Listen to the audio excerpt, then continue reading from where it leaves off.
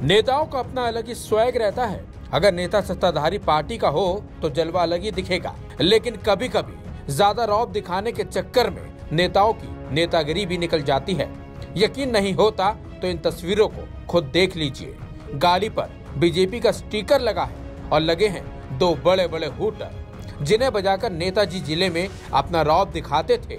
हैरानी की बात तो यह है कि नेताजी ने अपनी निजी गाड़ी पर बीजेपी का स्टिकर चिपकाने के साथ साथ उस पर हुटर भी लगा डाला था, ताकि क्षेत्र में जलवा जारी रहे। लेकिन नेताजी इस बात को भूल गए थे कि बीजेपी की सरकार में नियम कायदे सबके लिए बराबर हैं। बेशक वो बीजेपी का नेता ही क्यों ना हो? चलिए अब आपको बताते हैं, कहाँ पर नेताजी का रौब निकला और गाड़ी का चालान भी पुलिस ने कर डाला।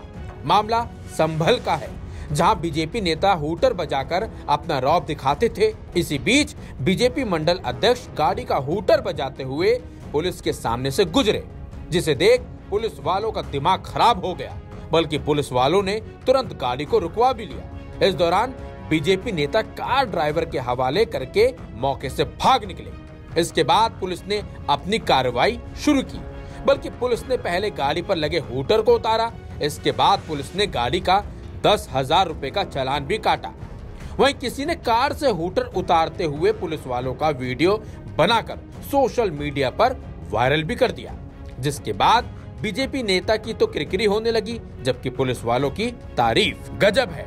गाड़ियों पर इस तरह के हुटर लगाने पर बैन है, बल्कि एक कानूनी अपराध भी है। लेकिन सत्ताधारी लोग ऐसे ही गैर कानूनी काम करने लगे तो सवाल तो उठने लाजमी है। इस खबर पर आपका क्या कुछ कहना है, ज़रूर बताएँ और देखते रहिए VK news Uttar Pradesh. VK news Uttar Pradesh, Uttarakhand, सच का सारथी।